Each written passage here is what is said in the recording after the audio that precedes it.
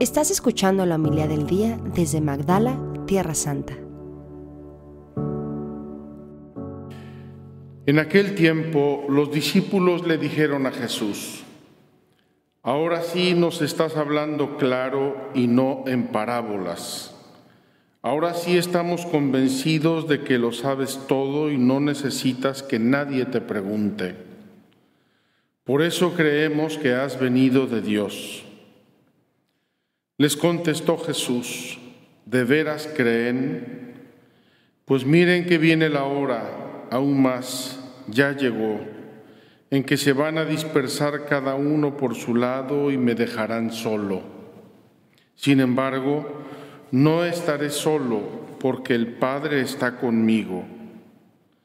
Les he dicho estas cosas para que tengan paz en mí. En el mundo tendrán tribulaciones pero tengan valor porque yo he vencido al mundo. Palabra del Señor. Gloria a ti, Señor Jesús.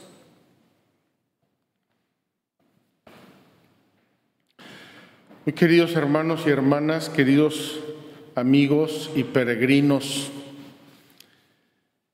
me ha dado mucho gusto volver a mi casa, a Magdala, volver a mi cama y descansar. Después de un mes de peregrinar por diversos lugares,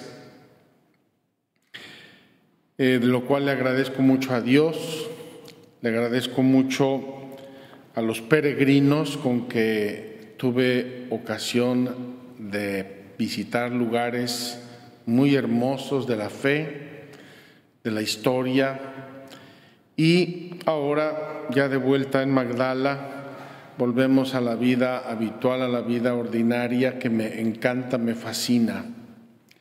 Hoy me toca retomar la celebración de la Eucaristía para todos ustedes y celebramos hoy a la Virgen de Fátima. Me parece casi como una continuación de la peregrinación a Lourdes, a Medjugorje, a Lisieux, a Cracovia, a los lugares de santos muy importantes de nuestra fe reciente, recientísima, y también lugares de la fe de la iglesia de los últimos siglos. Yo quisiera comentar brevemente la liturgia de hoy porque es muy bella y muy aleccionadora. Comencemos por los hechos de los apóstoles. San Pablo está viajando, fue viajero y misionero incansable, y en uno de esos viajes se encuentra con un grupo de discípulos.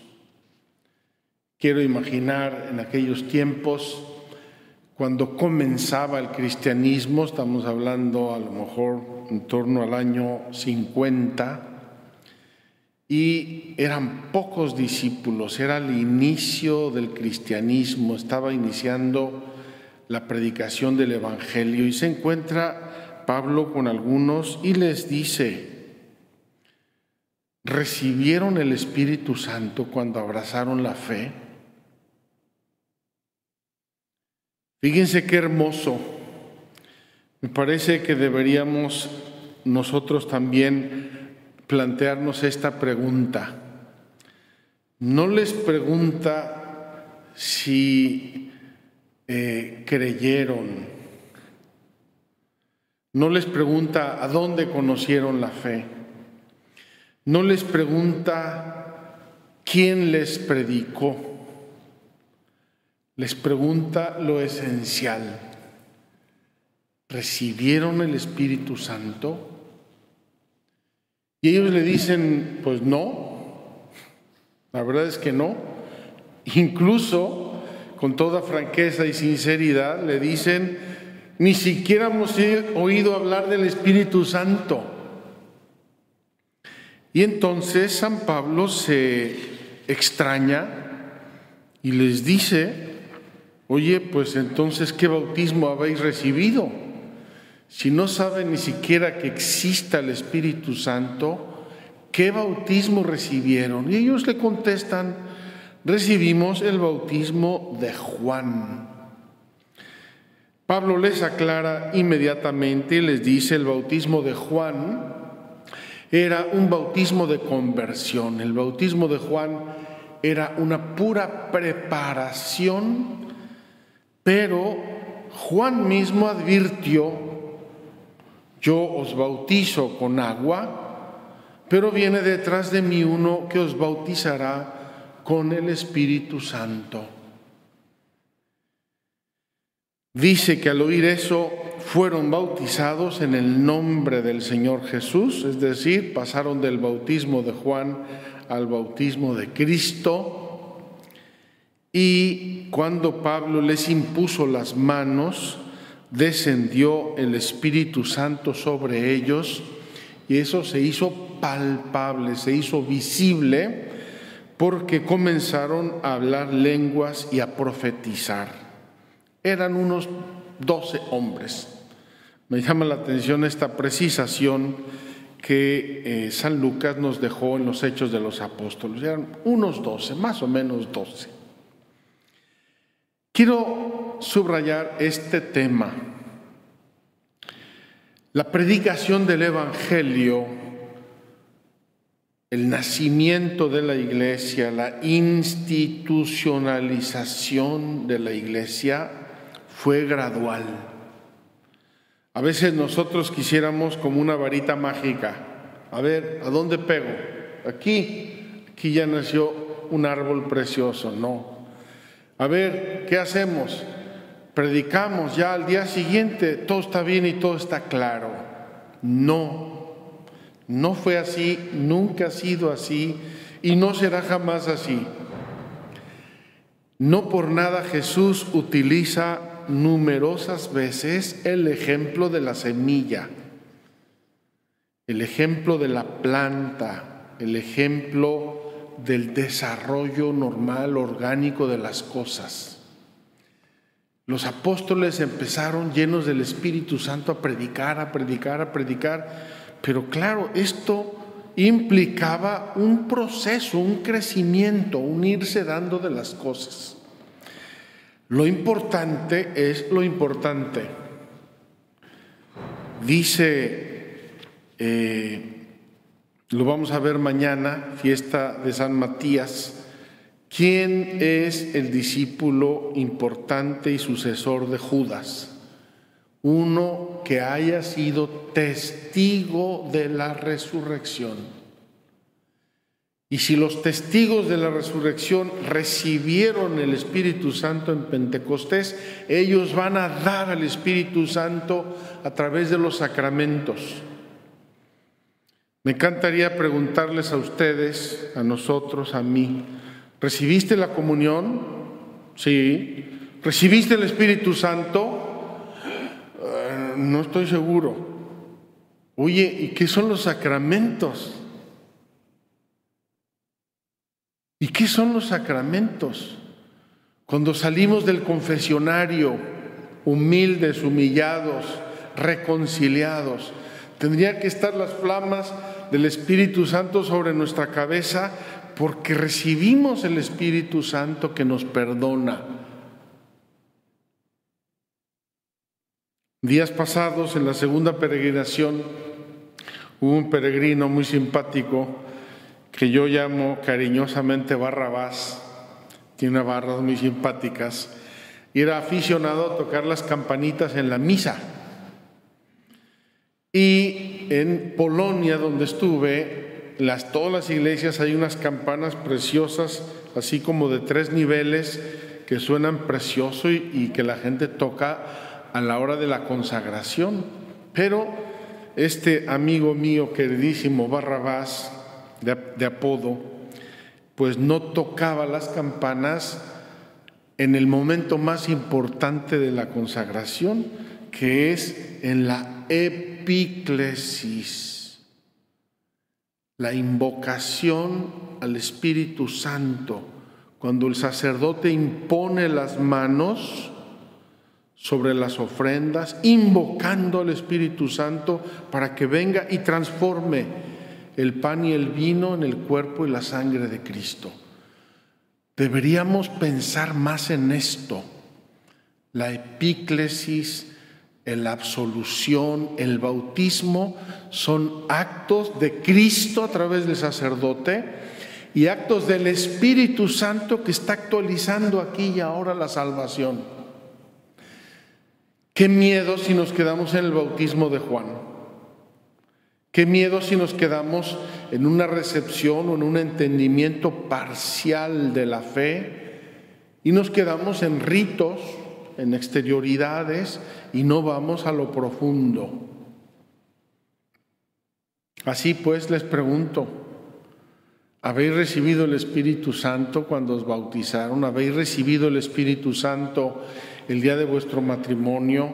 ¿Habéis recibido el Espíritu Santo en la Sagrada Comunión? ¿Habéis recibido el Espíritu Santo en la absolución de vuestros pecados? Nuestras peregrinaciones, porque fueron dos, una detrás de otra, nos han llevado por eh, los caminos más o menos recientes de la historia de la Iglesia y de la historia del mundo. Fuimos a, el pueblo, nunca se me queda el nombre, fundado por San Maximiliano Kolbe. Visitamos Auschwitz, la celda donde murió Maximiliano Kolbe.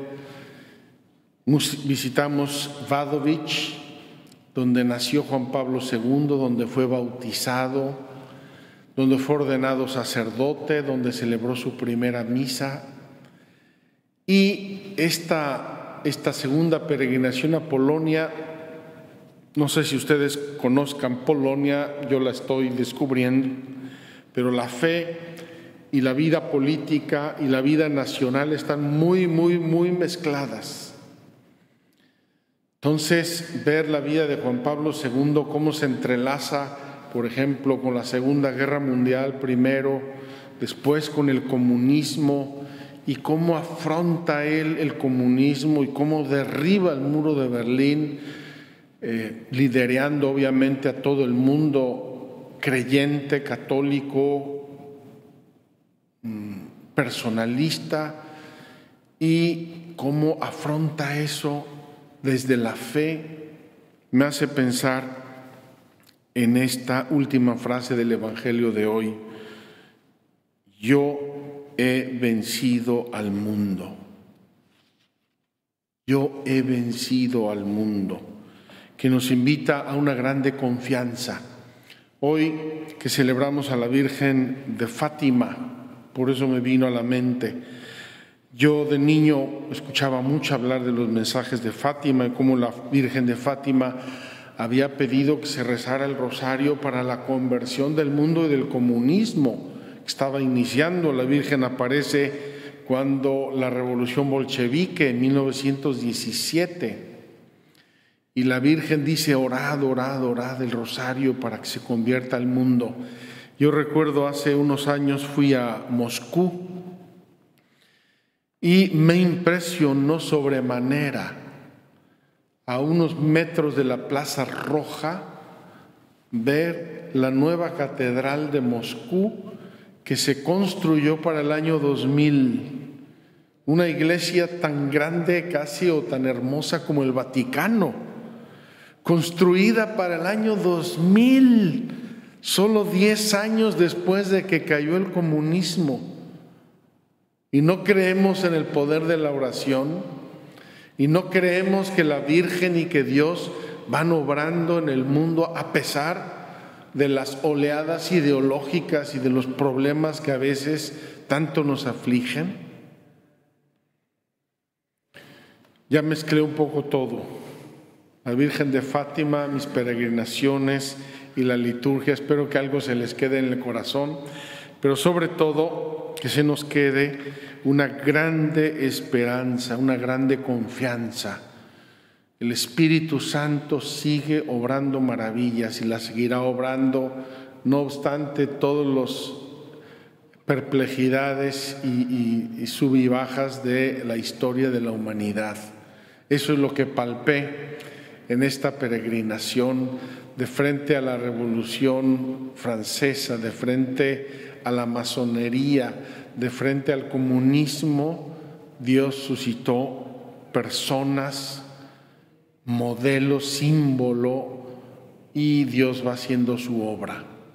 También visitamos Medjugorje, donde la Virgen está anticipando estos tiempos modernos que se avecinan, complicados, difíciles, y aparece como la Virgen Nuestra Señora de la Paz. Y nos insiste en la oración, oración, oración, oración, la confianza en Dios. Vamos a pedirle hoy a la Virgen de Fátima que nos haga personas, hombres, mujeres, familias de oración y que tengamos mucha confianza en la acción de Dios en el mundo. Que así sea. Muchas gracias por escucharnos. Si quieres conocer más acerca de Magdala, síguenos en YouTube y Facebook.